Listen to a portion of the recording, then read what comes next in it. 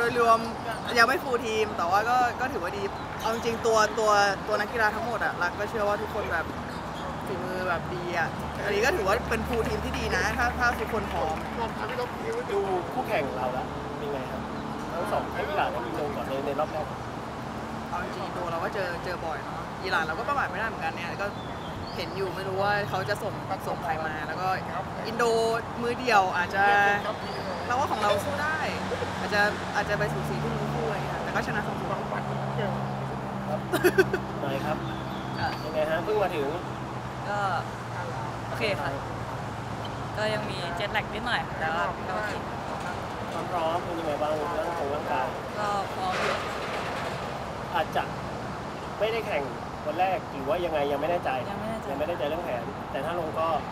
ก็พร้อมค่ะครั้งที่ปีที่แล้วกลุ่มหนึ่งเซอร์ไพรส์เยอะเหมือนกัน ค่ะปีนี้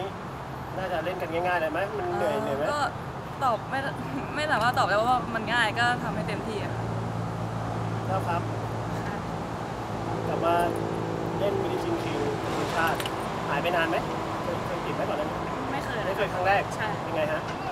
ก็ตื่นเต้นค่ะบรรยากาศกับกับการออกทัวร์กับการไปแข่งอาชีพของคือมันต่างกันไหมต่างค่ะต่างก็สนุกอีกแบบความพ ร้อมก็พร้อมค่ะอ้าวจบเลยก็ก็เตรียมตัวมาอยู่ค่ะน้องเป็นคนพูดน้อยต่อยหนักค่ะขอบคุณครับ